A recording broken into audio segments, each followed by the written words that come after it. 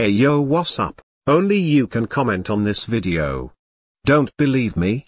Well comment on the video then switch accounts. Then on the other account look at the comments and it will be gone. Wait what's that? You want more proof? Well then go back to the account that you first watched the video on and you will see that your comment is still there. Well guys and gals peace out.